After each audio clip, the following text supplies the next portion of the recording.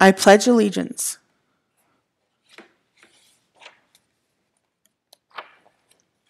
I pledge allegiance. The Pledge of Allegiance with commentary by Bill Martin Jr. and Michael Sampson, illustrated by Chris Raschka. Raschka. I pledge. A pledge is a promise. Allegiance to. Allegiance is loyalty. The flag. A flag is a symbol that stands for a place, a thing, or an idea. Of. Making a promise to a flag usually means the same thing as making a promise to whatever the flag stands for. The United States. Each state has its own name, its own song, bird, and flower, its own favorite food, some of its own laws, and even its own flag. The United States is one country made up of 50 states and several territories. The United States of America. America is a big body of land made up of two continents, North America and South America. All but one of the US states are part of the North a part of North America. The island state of Hawaii is in the South Pacific Ocean. Why our flag isn't orange and pink? Hmm. Here we go red, white, and blue. Red is for courage, white is for purity and innocence, blue is for loyalty and fairness. In 1818, lawmakers decided that the U.S. flag would have 13 stripes for the original 13 colonies and a star for every state. United States of America and two. Okay. Wouldn't it wouldn't they be surprised to learn that the flag would one day have 50 stars? Wow. the Republic.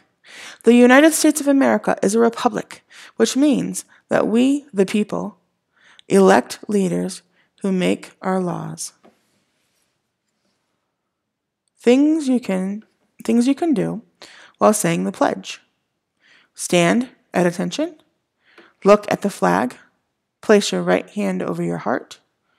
If you have a cap or a hat on, it is polite to take it off and place it over your heart to the republic for which it stands.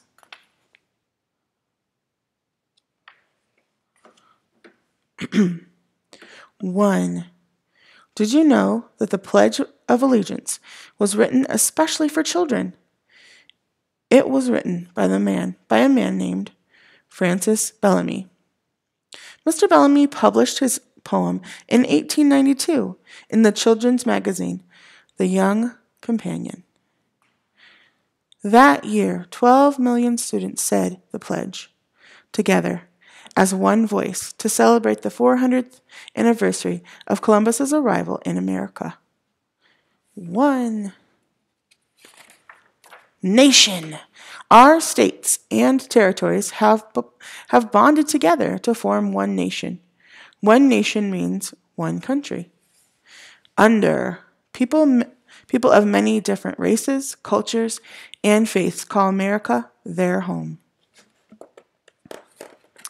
One nation under God. Many people believe that the democracy that a democracy is a reflection of how God thinks. Every single person is important.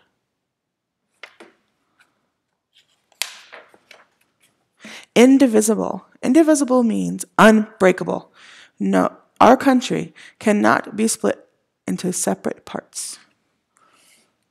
With, no matter how much we might disagree about some things, we all agree on one thing.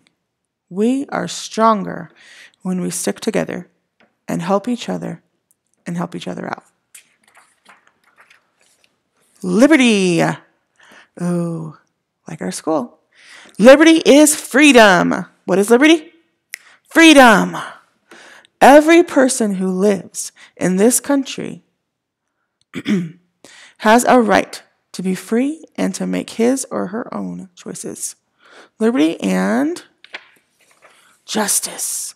Justice is fairness. For hmm, all Americans have the right to be treated fairly by our laws. So, liberty and justice for all.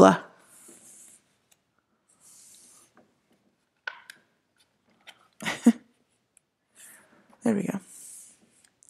I pledge allegiance to the flag of the United States of America and to the republic for which it stands, one nation, under God, indivisible, with liberty and justice for all.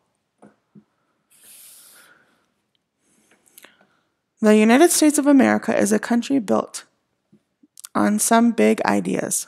This is true. Unity and variety, fairness and freedom, creativity and equality.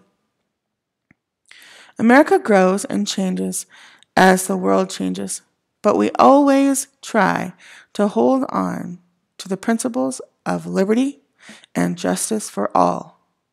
The America, the American flag is a symbol of who we are as a people.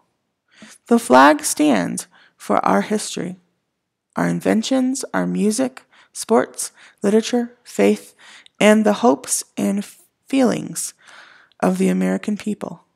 People like, who do you think? You.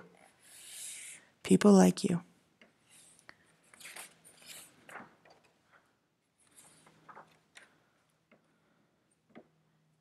The end.